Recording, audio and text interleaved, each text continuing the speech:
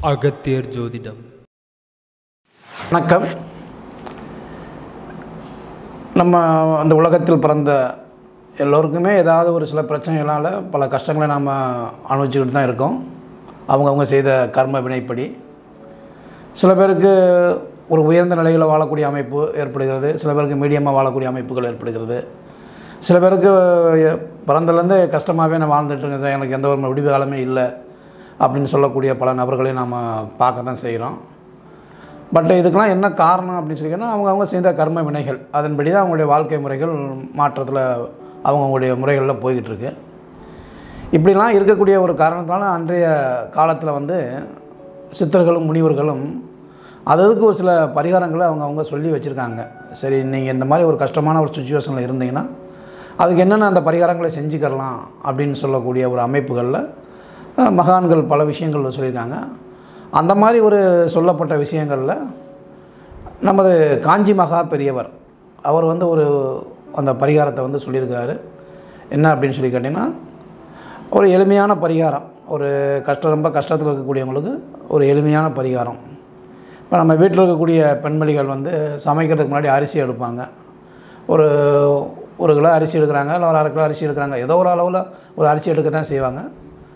அப்படி எடுத்து சமையலுக்கு எடுக்கிறது எடுத்து எடுத்த உடனேயே அதில் இருந்து ஒரு கைப்பிடி அளவு எடுத்து தனியாக ஒரு கைப்பிடி ஒரு கைப்பிடினா கொஞ்சம் அப்போ இப்போ கையில் எடுத்தால் எவ்வளோ ஒரு அரிசி வருமோ அதை எடுத்து வச்சிடணும் தனியாக எது? நம்ம சமைக்க போகிற அரிசியிலேருந்து எடுத்து வைக்கணும். உள்ள மூட்டையிலேருந்து அரிசி எடுக்கக்கூடாது. இப்போ சமைக்கிறதுக்காக எடுக்கக்கூடிய அரிசி நம்ம தனியாக எடுக்கிறோம் இல்லைங்களா? அந்த அரிசியிலேருந்து ஒரு கைப்பிடி அளவு எடுத்து தனியாக வச்சிடணும். இந்த மாதிரி தொடர்ந்து நம்ம சமையலுக்கு முன்னாடி நம்ம வந்து அந்த அரிசியை நம்ம அந்த பாத்திரத்தில் போடுறதுக்கு முன்னாடி அந்த உலை வெந்தோடனே நம்ம தூக்கி அரிசியை போடுவோம் இல்லையா? அதுக்கு முன்னாடியே அந்த அரிசியில் ஒவ்வொருபடி ஒரு கைப்பிடி கைப்பிடி அளவு எடுத்து எடுத்து நம்ம சமைக்க போகும்போதெல்லாம் எடுத்து எடுத்து வச்சிடணும். அது எவ்வளோ நாளைக்கு அதை செய்யணும் அப்படின்னு சொல்லி கேட்டிங்கன்னா ஒரு இருபத்தோரு நாள் ஒரு குறைஞ்சபட்சம் ஒரு இருபத்தோரு நாள் வந்து தொடர்ந்து அந்த மாதிரி நம்ம செய்துக்கிட்டே வந்தோம் அப்படின்னு சொல்லி கேட்டிங்கன்னா அந்த இருபத்தி ஓராவது நாள் முடியும் போது அந்த இருபத்தோராது நாள் முடியும் போது அந்த அரிசி மொத்தமாக சேர்ந்துருக்கும் இல்லைங்களா? அந்த அரிசியை வந்து என்ன பண்ணணும்னு சொன்னால் நல்ல ஒரு தயிர் சாதம் செய்து அதை நல்லா ஒரு நெய் மாதிரி நல்லா பண்ணி தயிர் சாதம் பண்ணி ஏதாவது ஒரு சிவ ஆலயத்துக்கு போயிட்டு அங்கே இருக்கக்கூடிய ஏழைகளுக்கு கொஞ்சம் அன்னதானமாக நீங்கள் அப்படியே கொடுத்துட்டு வந்தீங்கன்னு வச்சுக்கிங்களேன். அது தொடர்ந்து இந்த மாதிரி செய்துக்கிட்டே வந்தீங்கன்னா பல விதமான கஷ்டங்கள்லேருந்து நீங்கள் விடுபடுறதுக்கு நிறைய ஒரு வாய்ப்புகள் இருக்குது.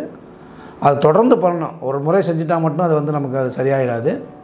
தொடர்ந்து ஒரு இருபத்தோரு நாள் இருபத்தோரு நாள் இந்த மாதிரி ஒரு மாதத்தில் ஒரு மூணு மாதம் நாலு மாதம் அப்படின்னு சொல்லி ஒரு ஆறு மாதம் இந்த மாதிரி தொடர்ந்து அப்படியே நம்ம செய்துக்கிட்டே வரும்போது நம்முடைய கஷ்டங்கள் எவ்வளோ விதமான நிலையில் இருந்தாலும் எந்த விதமான சூழ்நிலையில் நமக்கு பல கஷ்டங்கள் கொடுத்திருந்தாலும் நிச்சயமாக நம்ம அதுலேருந்து வெளியே வந்து கண்டிப்பாக வந்து அது வெற்றி அடையலாம். இதை தொடர்ந்து நீங்கள் செஞ்சு பாருங்கள் கண்டிப்பாக அதை வந்து நம்ம வெற்றி அடைகிறதுக்கான வாய்ப்புகள் இருக்குது.